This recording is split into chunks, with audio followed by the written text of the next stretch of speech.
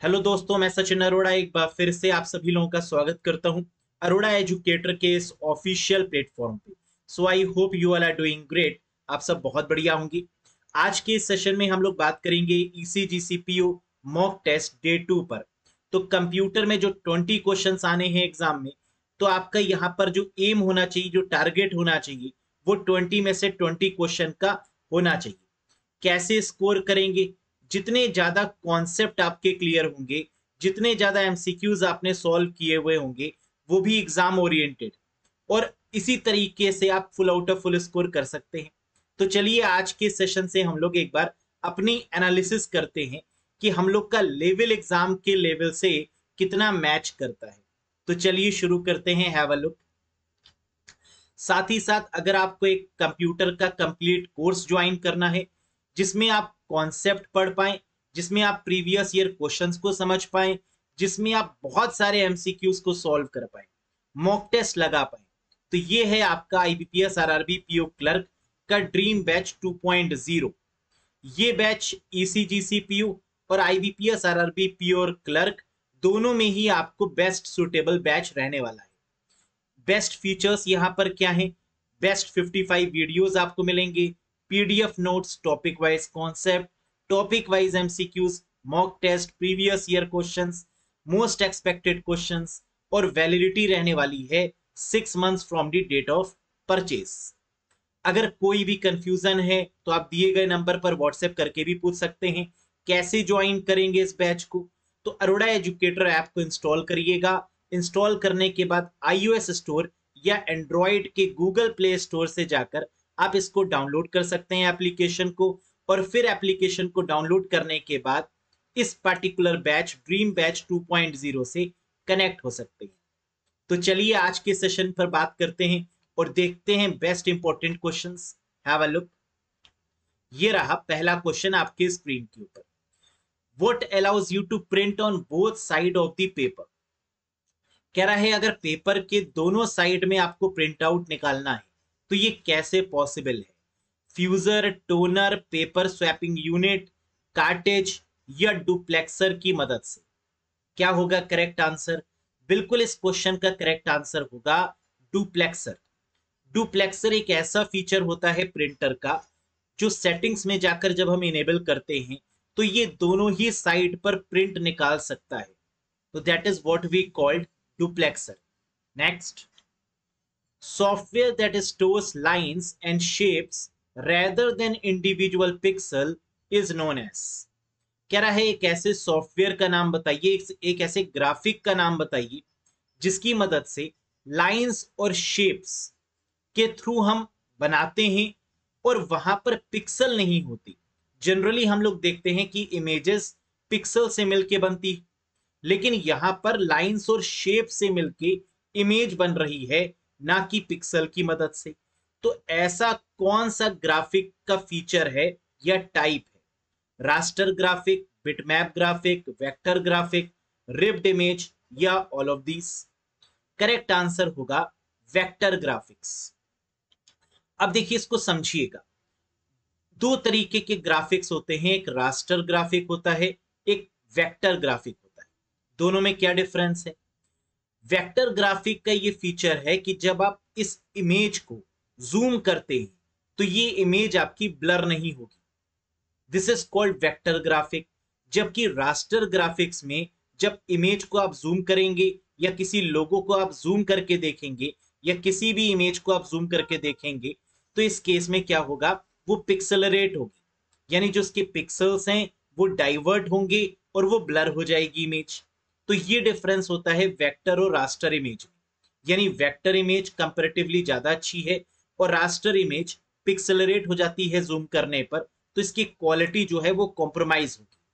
अब क्वेश्चन ये उठता है कि वेक्टर ग्राफिक्स को हम कैसे बना सकते हैं? तो वेक्टर ग्राफिक्स को बनाने के लिए जो सॉफ्टवेयर यूज़ किए जाते हैं, वो कोरल ड्रॉ है एडोब इलस्ट्रेटर है एडोब कैप्चर है, या स्केच है। आप लोग ने देखा होगा जो आजकल कंपनी के लोगो होते हैं वो कोरल ड्रॉ पर ज़्यादातर बनते हैं या एडोब एलस्ट्रेटर पर बनते हैं। तो इससे क्या होगा, जब किसी भी कंपनी के लोगों को जूम करके देखेंगे तो वहाँ पर पिक्सल्स होंगे ही नहीं। वहाँ पे लाइंस और शेप्स मैथमेटिकल फॉर्मूला होता है, जिसकी मदद से जूम करने पर भी वो वैसे ही दिखेगी जैसी वो पर्टिकुलर इमेज है, जैसे वो पर्टिकुलर पिक्चर है। जबकि रास्टर के केस में वो पिक्सलरेट हो जाती है। Next gutter margin can be set to left and right top and bottom right and bottom left and top या राइट एंड टॉप अब यहाँ पर सोचने वाली बात यह है कि गटर मार्जिन क्या होता है? तो गटर मार्जिन एमएस वर्ड में एक ऐसी मार्जिन होती है जो प्रिंटिंग के समय बाइंडिंग के लिए जो मार्जिन छोड़ी जाती है that is called gutter margin suppose करिए आपको एक बुक बाइंड करवानी है और बाइंडिंग के पर्पज से जो आप मार्जिन छोड़ते हैं प्रिंटिंग के दौरान that is called gutter margin अब यहाँ पर पूछा जा रहा है कि ये जो मार्जिन आप छोड़ रहे हैं, ये किस साइड में छोड़ी जाती है? लेफ़्ट एंड राइट में टॉप या बॉटम में तो इसका करेक्ट आंसर होगा लेफ़्ट एंड टॉप में. यानी लेफ़्ट साइड में या तो हो सकती है या टॉप में हो सकती है है ना? दो ही ऑप्शंस यहाँ पर बनेंगे। तो करेक्ट है दैट इज़ फोर्थ वन ये देखिए, यहाँ पर इस इमेज से भी आप समझ रहे होंगे कि टॉप में गटर मार्जिन और लेफ़्ट साइड में भी यहाँ पर हम छोड़ सकते हैं। Next which one of this is a valid font style कह रहा है, इसमें से कौन सा फॉन्ट स्टाइल है? Superscript subscript regular strikethrough या फिर ऑल ऑफ़ दीज तो यहाँ पर सुपर स्क्रिप्ट सब स्क्रिप्ट और स्ट्राइक थ्रू ये फॉन्ट इफ़ेक्ट है, जबकि रेगुलर आपका क्या है? फॉन्ट स्टाइल तो करेक्ट आंसर बनेगा दैट इज़ थर्ड वन अब फॉन्ट स्टाइल की अगर बात करें तो यहाँ पर आप देख सकते हैं, चार तरीके के फॉन्ट स्टाइल होते हैं। कौन कौन से? बोल्ड बोल्ड इटैलिक रेगुलर और italic bold bold italic regular और इटैलिक ये चार तरीके के आपके फॉन्ट स्टाइल होते हैं। जबकि इफ़ेक्ट की बात करें तो strikethrough double strikethrough superscript, subscript, small caps, all caps, या हिडन, ये आपके सब क्या बनेंगे? फॉन्ट इफ़ेक्ट बनेंगे।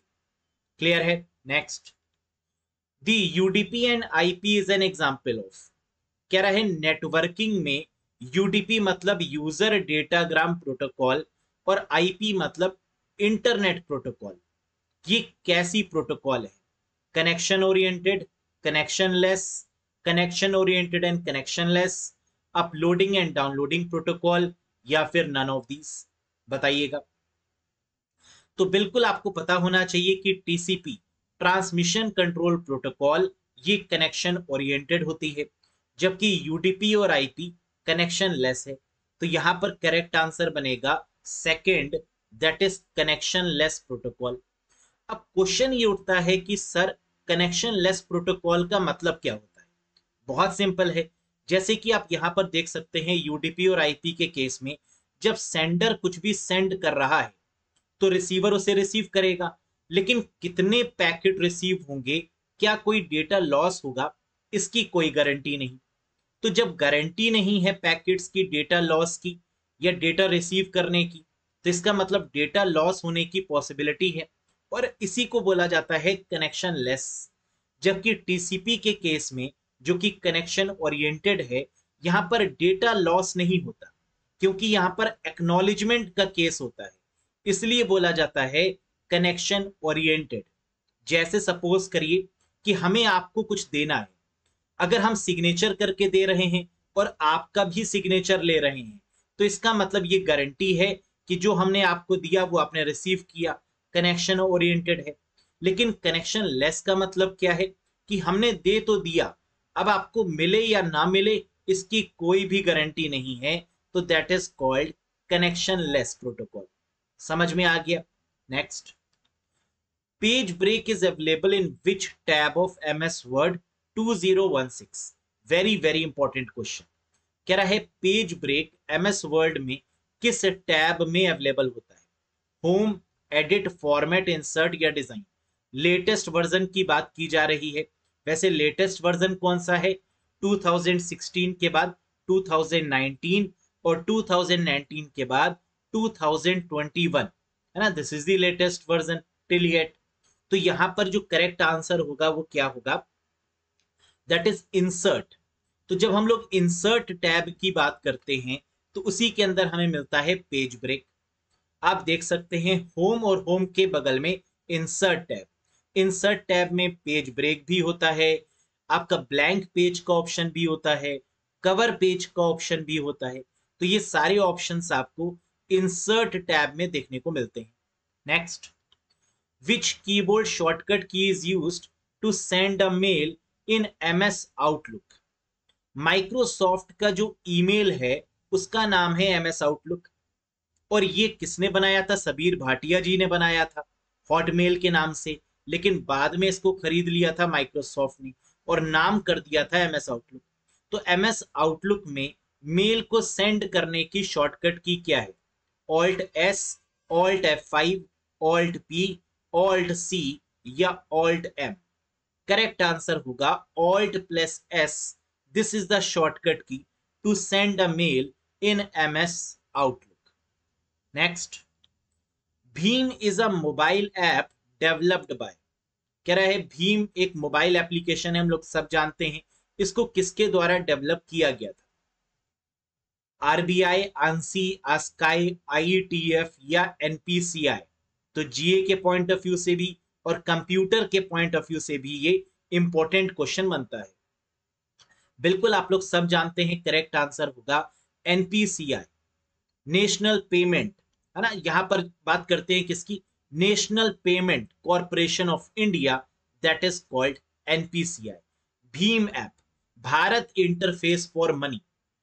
किसने डेवलप किया? एनपीसीआई ने। नेक्स्ट देखी which of the following is a great way to save and organize specific website so you can revisit them again and again कह रहा है कि अगर आपको वेबसाइट में एक स्पेसिफिक पेज को सेव करना है, या वेब पेज को सेव करना है, या वेबसाइट को सेव करना है तो इसका बेस्ट तरीका कौन सा है? हिस्ट्री सेटिंग सेव बुकमार्क या डाउनलोड क्या करेंगे? तो हम लोग जानते हैं इसके लिए बुकमार्क किया जाता है कंट्रोल प्लस डी कर देते हैं कंट्रोल के साथ डी करने पर बुकमार्क हो जाता है वेबसाइट के केस में। तो करेक्ट आंसर यहाँ पर होगा that is fourth one next flash memory is also called as flash memory को किस नाम से जाना जाता है? Primary memory tertiary memory volatile memory buffer memory या मैग्नेटिक मेमोरी बहुत ही प्यारा क्वेश्चन है। कई बार ये क्वेश्चन भी देते हैं कि फ्लैश ड्राइव को क्या बोलते हैं? तो आंसर होगा flash drive is also called as pen drive और पेन ड्राइव की बात करें या फिर एसडी कार्ड की बात करें या एसएसडी की बात करें ये सब आपकी फ्लैश मेमोरी ही है। तो फ्लैश मेमोरी एक तरीके से सेकेंडरी मेमोरी है और सेकेंडरी मेमोरी को कई बार टर्शरी मेमोरी के नाम से भी जानते हैं। तो यहाँ पर करेक्ट आंसर बनेगा that is tertiary memory clear है? नेक्स्ट देखिएगा। Which of the following memories has the relatively shortest access time कह रहा है, इनमें से ऐसी कौन सी मेमोरी है जिसमें डेटा बहुत जल्दी निकल के आता है? शॉर्टेस्ट एक्सेस टाइम है। इसका मतलब यहाँ पर यह पूछा जा रहा है कि ऐसी कौन सी मेमोरी है जो फास्टेस्ट मेमोरी है। बताइए। Cache memory magnetic memory magnetic core memory RAM या फिर एसएसडी तो सबसे ज़्यादा जो फास्टेस्ट मेमोरी है वो कौन सी है? हम लोग जानते हैं रजिस्टर रजिस्टर ऑप्शन में है, नहीं है। दूसरे नंबर पर कौन सी फास्टेस्ट है? कैशे मिल गई। करेक्ट आंसर होगा cache memory this is considered as the having the fastest access sorry shortest access time है ना? या फास्टेस्ट भी कह सकते हैं। फास्टेस्ट मेमोरी या शॉर्टेस्ट एक्सेस टाइम बात तो एक ही है। Next which of the following web browser was developed by Microsoft कह रहा है ऐसा कौन सा ब्राउज़र है जिसको माइक्रोसॉफ्ट के द्वारा डेवलप किया गया? Mozilla Google Chrome Opera Internet Explorer या फिर टॉर ब्राउज़र तो दो ऐसे ब्राउज़र हैं जो माइक्रोसॉफ्ट के द्वारा डेवलप किए गए हैं। कौन कौन से? एक तो इंटरनेट एक्सप्लोरर है, जो पहले था और अब इसकी जगह पर आ चुका है एज तो करेक्ट आंसर बनेगा इंटरनेट एक्सप्लोरर एंड एच ये भी पूछा जा सकता है कि इंटरनेट एक्सप्लोरर का लेटेस्ट वर्जन कौन सा है? तो जो लास्ट वर्जन आया इंटरनेट एक्सप्लोरर का वो था इंटरनेट एक्सप्लोरर 11 इसके बाद इंटरनेट एक्सप्लोरर अपडेट होना ही बंद हो गया मार्केट से आउट हो गया, क्योंकि इसकी जगह ले ली किसने? लेटेस्ट ब्राउज़र ने that is Edge next it is a software application that helps group of people on a network to work together and share the information कह रहा है, ये एक सॉफ्टवेयर एप्लीकेशन है जो ग्रुप ऑफ़ नेटवर्क यानी group of software का collection या ये भी कह सकते हैं, इस क्वेश्चन का मतलब ये है, ऐसा कौन सा एप्लीकेशन है जिसमें कई सारे सॉफ्टवेयर आते हैं? It is a software application that helps group of people on a network to work together एक साथ कई सारे काम हो सकते हैं। ऐसा कोई सॉफ्टवेयर का नाम बताइए। फर्मवेयर ग्रुपवेयर लाइववेयर मिडलवेयर या वेपरवेयर करेक्ट आंसर होगा ग्रुपवेयर अब ये ग्रुपवेयर होता क्या है है ना, इसके बारे में समझते हैं। देखो, सबसे पहले समझते हैं फर्मवेयर के बारे में। फर्मवेयर क्या है? रोम में लिखे गए इंस्ट्रक्शंस को फर्मवेयर बोलते हैं। The instructions which are written in ROM are called firmware groupware क्या है? जैसे अभी जिस सॉफ्टवेयर की मदद से हम प्रेजेंटेशन दे रहे हैं, आप लोग के सामने लाइव जिसके थ्रू हम प्रेजेंट कर रहे हैं, ये है आपका ग्रुपवेयर क्यों? क्योंकि यहाँ आपको स्लाइड भी दिख रही है, जो हम बोल रहे हैं वो भी आपको सुनाई दे रहा है, हमारा फेस भी आपको दिख रहा है है ना? तो ये सब चीज़ें किसके थ्रू पॉसिबल है? ग्रुप वेयर के थ्रू पॉसिबल है। क्योंकि यहाँ डेटा कॉन्फ्रेंसिंग भी हो रही है वीडियो कॉन्फ्रेंस भी है वॉइस कॉन्फ्रेंसिंग भी है चैट बोल्ड भी है फॉरम डिस्कशन भी है, और ई मीटिंग सिस्टम भी है। तो this is a type of a groupware समझ में आया? अब लाइव वेयर क्या होता है? देखिए लाइव वेयर का मतलब ये है एक ऐसा प्लेटफॉर्म जिसके थ्रू ये सारी चीज़ें लाइव मोड में चल रही हूँ। है ना? जैसे कई बार हम ऑफलाइन मोड में करते हैं, कई बार लाइव मोड में करते हैं। फिर है मिडल वेयर मिडल वेयर का मतलब होता है एक तरीके से हार्डवेयर और सॉफ्टवेयर का कॉम्बिनेशन अगर इस तरीके का कोई सॉफ्टवेयर यूज़ होता है that is called middleware फिर वेपर वेयर का मतलब क्या होता है? वेब देखो मिडल वेयर में हम लोग यहाँ पे ड्राइवर कह सकते हैं। ड्राइवर एक तरीके का क्या है? मिडल वेयर है ना? क्योंकि ये हार्डवेयर और सॉफ्टवेयर का कॉम्बिनेशन होता है। क्योंकि हार्डवेयर को चलाने के लिए किसकी रिक्वायरमेंट है? ड्राइवर की रिक्वायरमेंट है। तो ड्राइवर एक तरीके का क्या हो गया? मिडल वेयर हो गया। वेपर वेयर क्या होता है? वेपर वेयर मतलब एक ऐसा सॉफ्टवेयर जिसका वादा किया गया था कि बनाएँगे। लेकिन वादा जो किया था उसको निभाया ही नहीं, यानी बनाया ही नहीं। तो this is called vaporware यानी हवा में जो बातें की जाती है ना? कई लोग होते हैं ना जो हवा में बहुत बड़ी बड़ी बातें करते हैं, लेकिन कुछ भी इंप्लीमेंट नहीं करते। तो that is what we called vaporware तो यहाँ पर आपका करेक्ट आंसर होगा groupware next which of the following chart is use to show trend over time कह रहा है एम एस एक्सल में, देखो ये समझना पड़ेगा। चार्ट हम लोग कहाँ पर यूज़ करते हैं एक्सल में? तो इसका मतलब ये क्वेश्चन कहाँ का है? एक्सेल का है।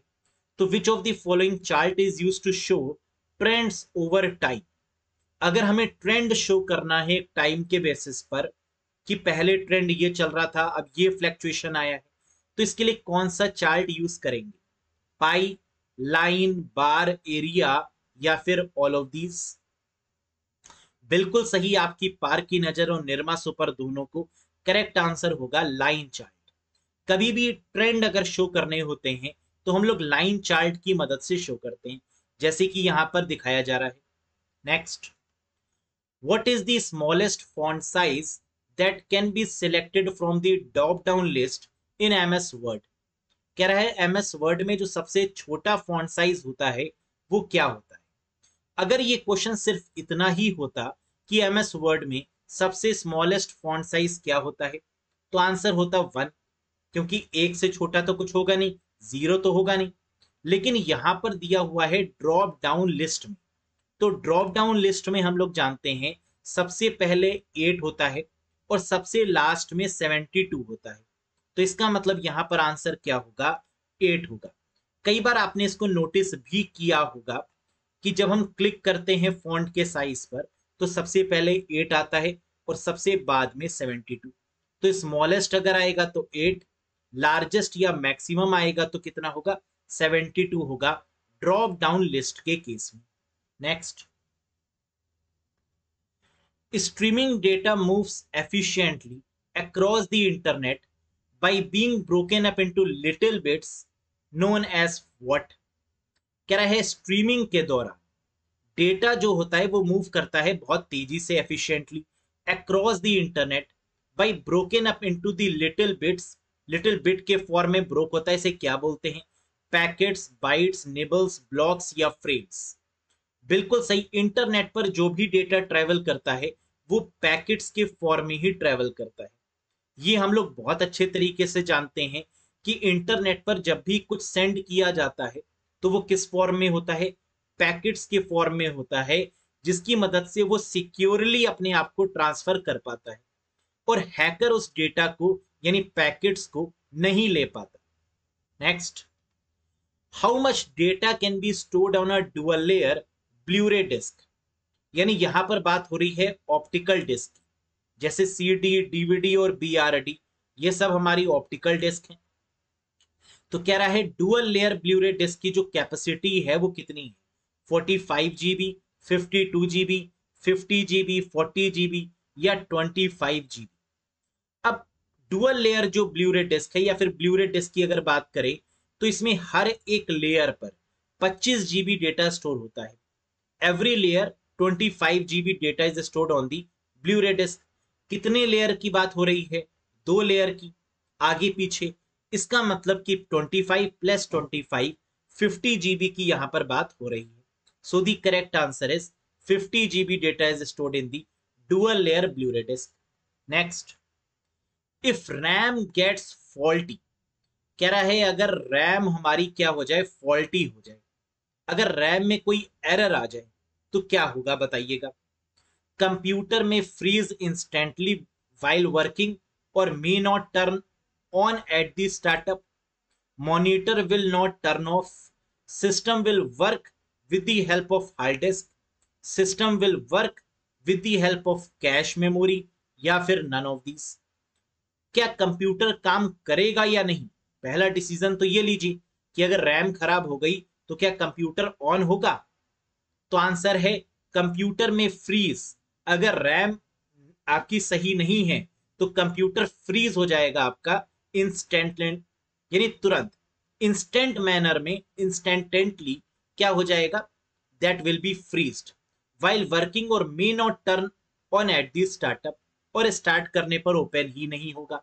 तो this is the correct answer in case if RAM gets faulty ये मैसेज आपको मिलता है जो स्क्रीन पर शो हो रहा है।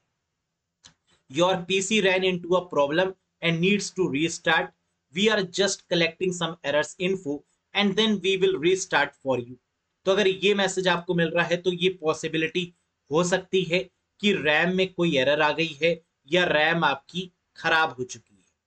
Next which of the following best describe Windows 11 जो लेटेस्ट विंडोज़ है, वो कौन सी है? विंडोज़ 11 है। तो यहाँ पर पूछ रहा है, इसमें से कौन सा ऑप्शन विंडोज़ 11 को डिस्क्राइब कर रहा है?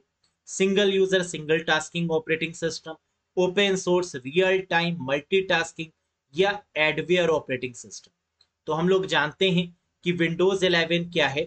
This is our multitasking operating system multi user multitasking कह सकते हैं। So the correct one is fourth one next and the last question बताइएगा। The quality of the stream in internet depends on the dash used in encoding कह रहा है जो quality होती है स्ट्रीम की। लाइव स्ट्रीम की जो क्वालिटी होती है इंटरनेट पर, वो किस पर डिपेंड करती है?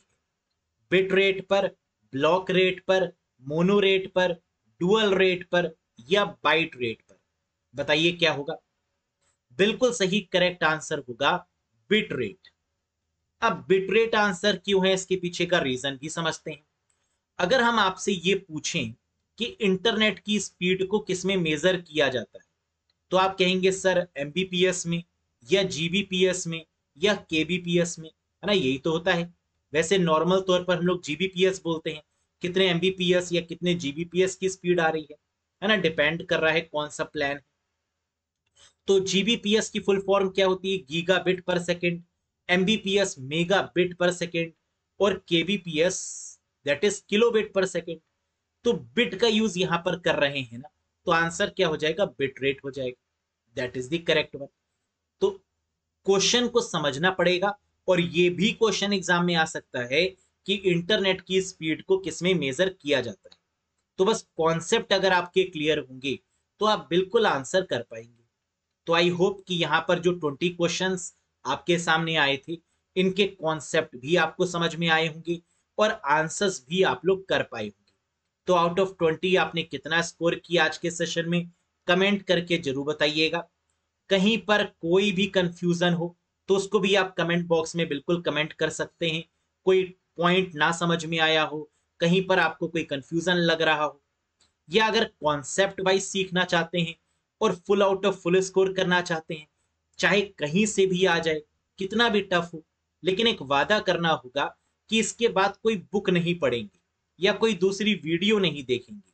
तो ये बैच इतना ज़बरदस्त बैच है कि आपको खुद ये कॉन्फिडेंस हो जाएगा एग्ज़ाम से पहले कि, सर कंप्यूटर में तो फुल आउट ऑफ़ फुल आएगा ही आएगा। चाहे कहीं से भी क्वेश्चन पूछ ले, इतना कॉन्फिडेंस आपके अंदर ज़रूर आ जाएगा।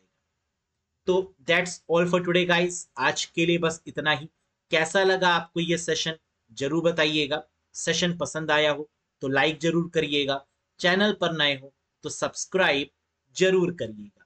That's all for today Thank you very much. Bye bye and take care to all of you.